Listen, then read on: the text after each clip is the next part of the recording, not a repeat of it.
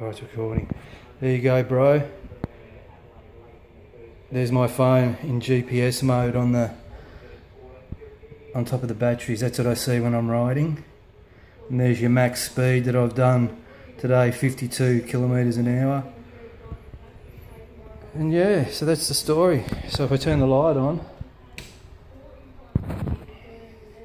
oh, might help we turn the other light on. There you go. There you are now. My scooter's behind it. And there's the new wheel on the back. See the size of that wheel now compared to the other one? That's huge. If you compare the other video or whatever, go back and have a look. But yep, that's the story. That's the John Dory. And there's that um, USB department I fitted on the front. You can see the blue light shining. Yeah, so that's the story. There you go. Later, brother.